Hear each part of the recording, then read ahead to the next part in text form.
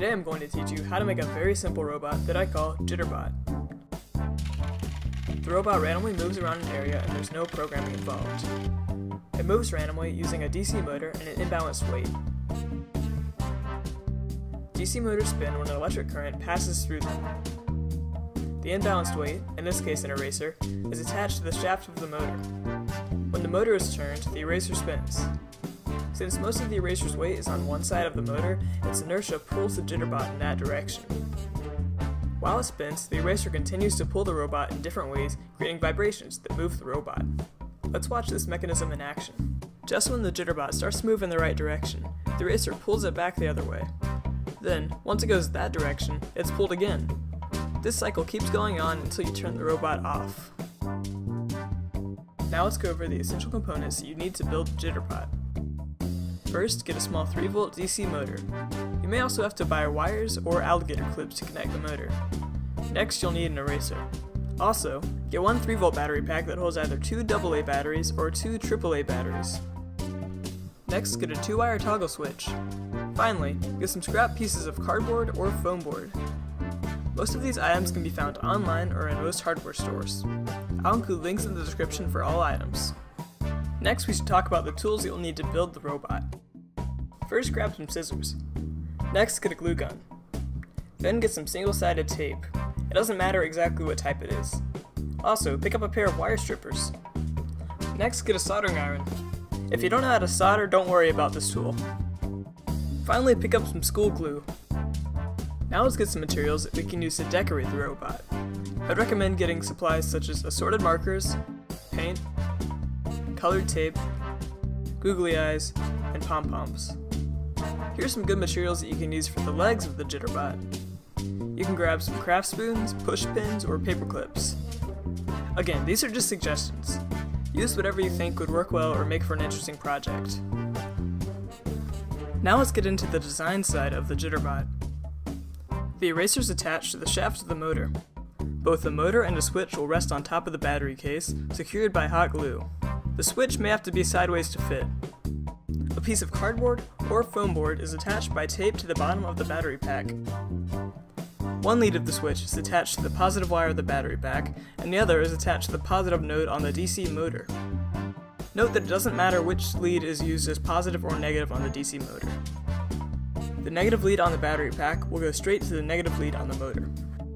The legs can be attached on the cardboard. Next we'll go over how to actually make the Jitterbot.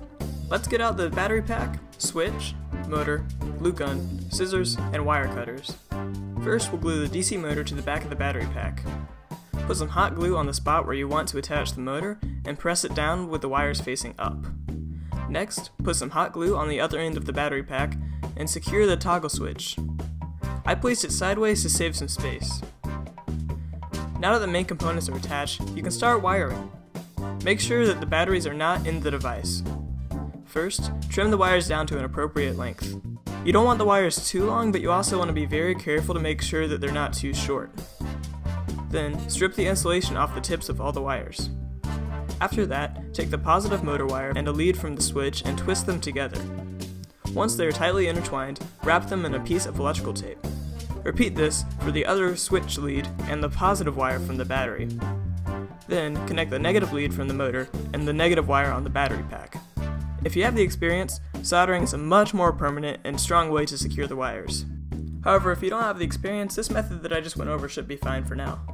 Also, if your motor didn't come with wires pre-attached like mine, you may want to connect the negative lead from the battery pack and the wire from the switch directly to the nodes on the DC motor. You can attach the wires like this by soldering, using alligator clips, or even using the method that I went over earlier. Now back to assembly. Once all of your wires are connected, go ahead and insert the batteries. Next, trace the shape of the battery pack onto a piece of cardboard or foam board and cut the outline. Attach the cardboard to the bottom of the battery pack using tape. If you use glue, you won't be able to switch out batteries in the future. Now we're going to make the legs. I used push pins for mine. You'll notice that the pin is longer than the cardboard, so I went ahead and cut down their size with some wire cutters. Then, I dab some hot glue and attach the push pin to the corners of the cardboard. Once your legs are set, cut off a piece of the eraser and poke a non-centered hole with a push pin or other sharp object. Finally, attach the eraser to the shaft of the motor. Now your robot should be set. Flip the switch and see if it moves. If you're not satisfied with the appearance of the Jitterbot, you can decorate it any way you want.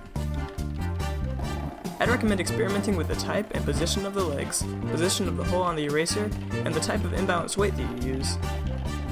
I hope you have a lot of fun with this project. As always, if you have any questions, just leave a comment and I'll get back to you as soon as possible. Thanks for watching!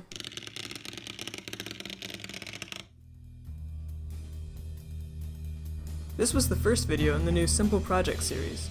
The series is going to feature a lot of easy DIY and STEM-related project tutorials like what you just watched. If this sounds like something you're interested in, then subscribe to stay tuned for more.